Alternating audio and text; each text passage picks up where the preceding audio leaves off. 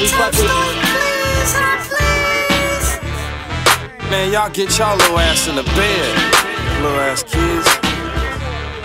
Y'all tucked in?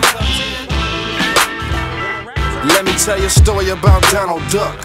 When he jumped in the game, he went to Uncle Scrooge, see if he could cop a thing. He gave to Huey, Dewey, Louie to knock it off. It didn't take long for them young niggas to floss. Then it was a player by the name of Bugs Bunny. Had to go fronts, was all about his money. Everywhere he went, he had his right hand man.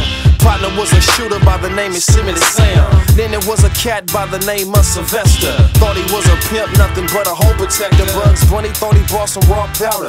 Game got sour, shit turned out the flower. Now Sam and Bugs on a true murder mission. Looking for the cats that sold the fake chicken. Sylvester heard the word, so he hired Elmer Fudd. Then he took him out with them hollow tip slugs. So we hooked up with the ball of Pink Panther. Took his hoes off the track, and that boy sold Bama. Now Bugs Bunny got stuck with fake dope. It's around drought time and he refused to go broke. So he sold his shit to a fool named Game Goofy and a BG by the name of Little Louie.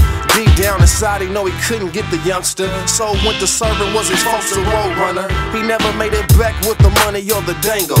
Now Bugs Bunny got caught up in the tango. Changing names to protect the innocent. Uncle Hush, boy. I'm out.